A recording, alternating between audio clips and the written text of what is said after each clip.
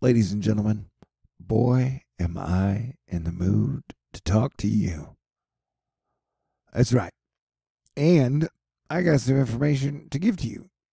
We have a volcano in Merapi, Indonesia, that has erupted. And I have been noting, man, the volcanoes and earthquakes have gone silent for like a week and week and a half. You know, while the virus has taken center stage. But today seems like an extra volcano day.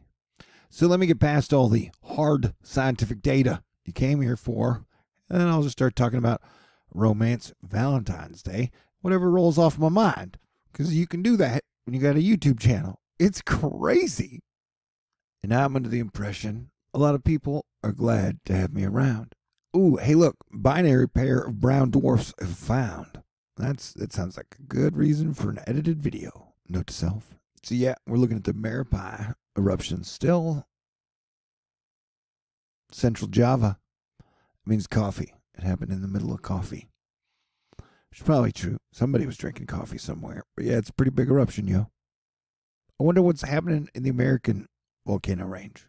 Popocatépetl the volcano in Mexico, has been the James Brown of volcanoes since the start of 2019. I think it's the hardest working volcano out there. If you didn't know, you do now. Hey, the potential storm for February 20th looks like a dragon swan with a big eye in its wing. That's got to be a romantic omen of sorts. And I would guess with Valentine's Day so close, there will be random shots of beautiful women. These are cheerleaders. Um, from the Washington, whatever the name is of the football team. Boom. It's just you and I watching the Public Popocatépetl volcano going off right now. That's what is happening. And I'm being a bit cheesy with bubblegum. Isn't that great? So, yeah, the volcanoes are heating up. And uh, sometimes a shake, Sometimes they explode, sometimes they kick out ash, dust, lava, magma. I guess magma's lava, but magma's lava you don't see. And hey, there's a UFO. Check it out. Everybody knows aliens love volcanoes. But hey, why not? Like if you're just cruising around in a spaceship and we're never to allowed to talk to any of the humans, you know, if you could be like, hey man, what do you want to go look at now, baby? Because we got to take a little break in between all the making out. That's how it works for men. W- women can just go nonstop all day for days. At least from what I remember. I don't know. I haven't gotten the chance to kiss one in two years. I'm not complaining. The Taylor curse has kept me safe from crazy bitches. And I don't know if you know that. There are crazy bitches out there, man. You know, and a bitch can be a man or a woman. And it can be a female dog. That's the scientific term. We're talking about volcanoes. They're erupting. Kali Yuga. Apocalyptic news. Talking about Mount Merapi. Jakarta. Sounds like a bad guy. You'd better watch out. Jakarta is coming to get you. Well, I guess it's kind of true. Kali Yuga. Kali. Uh, Shiva and Kali. Is that it? No. Shiva and somebody. One's a creator, one's a destroyer. Something like that. You know, like Ender Wiggin and Howard Roark. Yeah, so the Indonesian volcanoes are kicking it. And the Central Amer- or South American, where, no, the Mexico American volcanoes are kicking it. And I was talking to you. We got Valentine's Day coming up. What are you wearing? Oh, hey, rapid ice growth. Thanks to the strong polar vortex, the Arctic sea ice reaches the largest early February ice extent in the past 11 years. It, it even exceeds the 2001 to 2010 average size. Well, you know what this means.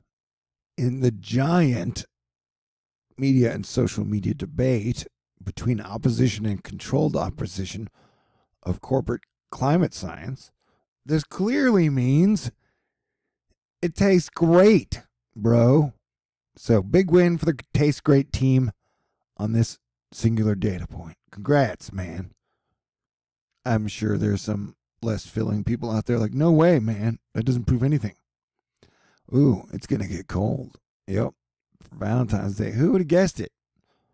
You know, it would save humanity rock and roll, comedy, and romance. So I figure we got about a week, two weeks, three weeks at best of the power couples to come together and hook up, you know, before America takes a stay home lockdown mentality for whatever reasons that are going to occur during March. You know, so if you have, if your intuition is telling you that you may find someone that you would super click with that would make life more enjoyable because life is hard. So it'd be great to go through it with someone who'll always be there for you and is um super cute and just makes you smile by knowing they're in the same room. It's possible. I've seen it happen. I mean, it, you know, you got a better chance of getting a lottery ticket, sure, that wins, but this is worth way more. So yeah, a little love in your heart. So take a chance. You know, there's never been a better time now than now that take a chance on love. Because more happy people would leads to more happy people. It's definitely extra enjoyable to make out in the middle of a storm. You know, when you guys are inside safe and warm, but you can hear all the activity outside. All right. So, yeah, sure. 2020. It's super dangerous, man. And all this doom and gloom is like an aphrodisiac. Um, so hook up smartly. No, don't superhero hookup. Uh, not hookup's a stupid term. I like dating. Dating is great. All right, whatever. I'm off the rails. Have a great night. I'll probably be talking to you guys regularly this evening because I just have that like weird. Either I want to talk to you or somebody wants to hear me talk to you. I don't know. All right. I love you guys. God bless everyone. Stay cool. Peace out.